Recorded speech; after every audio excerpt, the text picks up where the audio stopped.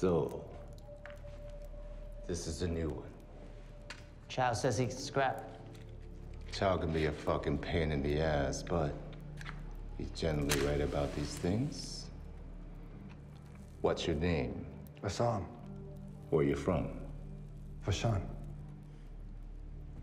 Who trained you? Sifu Li Chuan.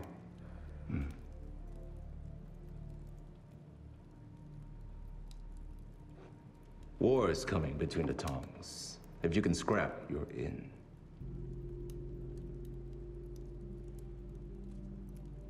Young Jun will get you settled.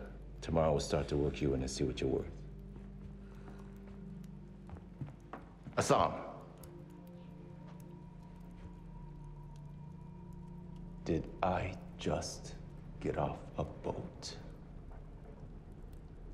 Excuse me?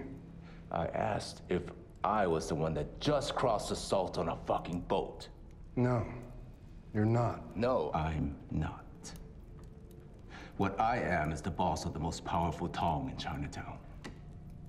What you are is one in 25,000 broke Chinese fucking nationals I just bought for the price of a shitty bottle of wine. I tell you this at the risk of stating the obvious to remind you that you are a fucking onion. And before a fucking onion turns away from me, you better